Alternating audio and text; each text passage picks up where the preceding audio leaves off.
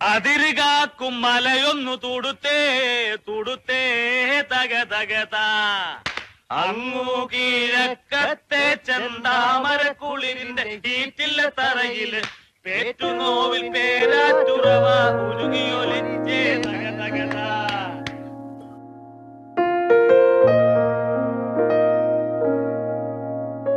മലയാള സിനിമയിലെ സകലകലാവല്ലഭൻ ആരെന്ന് ചോദിച്ചാൽ ഉത്തരം ഒന്നേയുള്ളൂ. അത് നെടുമുടി വേണുവാണ്. ആ വല്ലഭനെയാണ് മലയാള സിനിമയ്ക്ക് ഇന്ന് നഷ്ടമായിരിക്കുന്നത്. എഴുപതുകളുടെ അവസാനം തുടങ്ങിയ നവസിനിമാ തരംഗത്തിന്റെ നെടും തൂണാണ് അദ്ദേഹം. അതിനു മുൻപേ നാടക ലോകത്ത് അദ്ദേഹം അറിയപ്പെടുന്ന പ്രതിഭയായിരുന്നു. ഒരു കാലത്ത് പത്മരാജൻ ഭരതൻ ചിത്രങ്ങൾക്ക് വേണുവില്ലാതെ ചിത്രീകരണം പോലും സാധ്യമല്ല എന്ന അവസ്ഥയുണ്ടായിരുന്നു. അത്രത്തോളം മലയാള സിനിമയെ സ്വാധീനിച്ചിരുന്നു വേണു. ഒരുപക്ഷെ മലയാള സിനിമയിലെ തന്നെ മഹാനടന്മാരിൽ തലപ്പൊക്കത്തോടെ നിൽക്കാനും നെടുമുടിക്ക് സാധിച്ചിരുന്നു. ഞാൻ എന്തു പറയാനാ എന്റെ ടീച്ചറെ? എന്റെ കണ്ണു നിറഞ്ഞുപോയി പണ്ട് കുതിരവട്ടം പപ്പു പറഞ്ഞ കാര്യത്തെ അന്വർത്ഥമാക്കിയ നടനാണ് നെടുമുടി. ആലപ്പുഴയിലെ വെള്ളക്കുണ്ടിൽ നിന്ന് നീന്തിക്കേറി മലയാള സിനിമയുടെ മുടിചൂടാ മന്നനായി എത്തിയ നടനാണ് നെടുമുടി. അഞ്ഞൂറിലധികം ചിത്രങ്ങൾ മൂന്ന് ദേശീയ അവാർഡുകൾ ആറ് സംസ്ഥാന പുരസ്കാരങ്ങൾ നെടുമുടി വേണുവെന്ന നടനെ വിലയിരുത്താൻ ഈ പറഞ്ഞ വിവരങ്ങൾ ധാരാളമാണ്. എന്നാൽ അതിനും അപ്പുറമാണ് നെടുമുടി എന്ന മഹാനടൻ താണ്ടിയ അഭിനയത്തിന്റെ കൊടുമുടി. നീ കണ്ടു? നിനക്ക് അറിഞ്ഞൂടെ നീ വിചാരിച്ചത് കാശിന്റെ പുഴപ്പുകൊണ്ട് ഞാൻ ഏതാണ്ടോ കാണിക്കാന്ന് അല്ലേ? ഇന്ന് നാലു മണിക്ക് മുമ്പ് നമ്മൾ ഭാര്യയും ഭർത്താവുമാണ് പിന്നെ നീ എന്റെ വരുതിയില്ല ശിവാജി ഗണേശനെയും കമൽഹാസനെയും പോലുള്ള അഭിനയ ചക്രവർത്തിമാർ ആ മഹാനടന്റെ മുന്നിൽ തങ്ങൾ ഒന്നുമല്ലെന്ന് വരെ പറഞ്ഞു.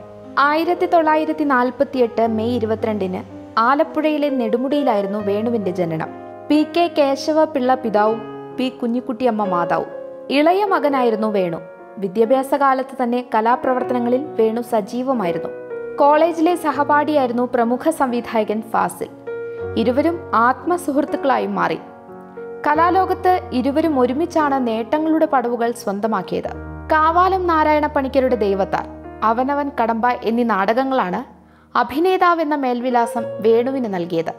ആയിരത്തി തൊള്ളായിരത്തി എഴുപത്തിയെട്ടിൽ അരവിന്ദന്റെ തമ്പിലൂടെയാണ് വേണു സിനിമാ ലോകത്തേക്ക് വരുന്നത്.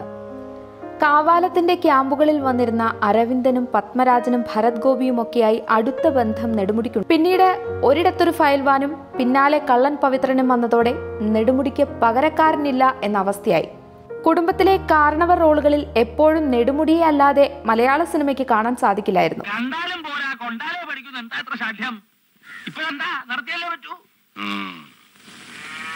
ദൈവങ്ങളെ എല്ലാം മനസ്സിലായി. അവാന്തം പൊറുക്കണേ. ഈ വരുന്ന ആയില്യത്തിന് വലിയ കോയിക്കൽ കളവെഴുത്തും പാട്ടും കടന്നീർത്ത് നടത്തിക്കൊള്ളാമേ. സിനിമ പരാജയപ്പെട്ടാലും വേണു മോശമാവില്ല എന്നായിരുന്നു പ്രേക്ഷകർ പിന്നീട് പറഞ്ഞിരുന്നത്. സിനിമയേക്കാൾ ഏറെ നാടൻ പാട്ടിനെയും കഥകളിയെയും മൃദംഗത്തെയും ഒക്കെ അദ്ദേഹം സ്നേഹിച്ചിരുന്നു. നാടകവും അതുപോലെ തന്നെ. എന്നാൽ മലയാള സിനിമയ്ക്ക് അദ്ദേഹത്തെ വിട്ടുകൊടുക്കാൻ താല്പര്യമുണ്ടായിരുന്നില്ല.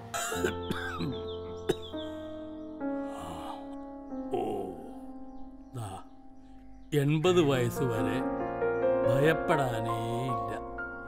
ഒരു ചെറിയ കാർമേഘം പോലും ഇല്ല. അത്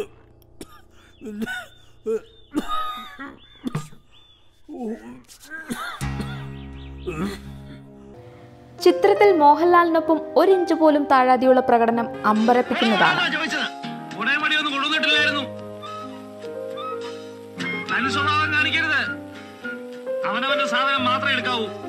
കള്ളൻ പവിത്രനിലെ പ്രകടനവും ലോകോത്തരം തന്നെ.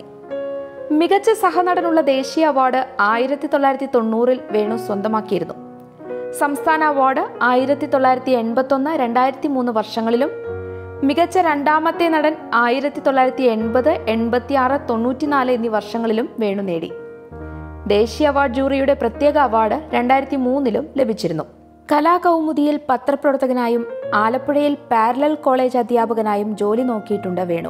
എന്ന് പ്രേമം പറയാമെന്ന് വെച്ച് അക്കരെ ചെന്നപ്പോൾ വീട് വെള്ളം കൊണ്ടുപോയി. ഉള്ളത് പെറുക്കിയെടുത്ത് അവർ നാട് വിട്ടു. കമൽഹാസൻ തന്റെ പ്രതിഭയ്ക്കൊപ്പമോ മുകളിലോ പോകുന്നത് നെടുമുടി വേണു മാത്രമാണെന്ന് ഒരിക്കൽ പറഞ്ഞിരുന്നു. മലയാളത്തിൽ നിങ്ങൾ പരമാവധി അഭിനയിച്ചു കഴിഞ്ഞു. ഇനി തമിഴിലേക്ക് വരൂ എന്ന് അഭ്യർത്ഥിച്ചിരുന്നു കമൽഹാസൻ. ശിവാജി ഗണേശൻ കൊടുമുടി വേണു എന്ന വേണുവിനെ വിളിക്കണമെന്നാണ് പറഞ്ഞത്. അഭിനയത്തിന്റെ കൊടുമുടി എന്നാണ് അദ്ദേഹത്തെ വിശേഷിപ്പിച്ചത്. മിന്നാമിനുങ്ങിന്റെ നുറുങ്ങുവെട്ടം തമിഴിലോ തെലുങ്കിലോ എടുക്കണമെന്ന് ആഗ്രഹിച്ചിരുന്നു എന്ന് നടി ശാരദ പറഞ്ഞിരുന്നു. എന്നാൽ വേണുവിന് പകരം വെക്കാൻ ആ ഭാഷകളിൽ മറ്റാളുകളില്ലെന്നും അതുകൊണ്ട് ചെയ്യുന്നില്ലെന്നും ശാരദ വേണുവിനോട് പറഞ്ഞിരുന്നു.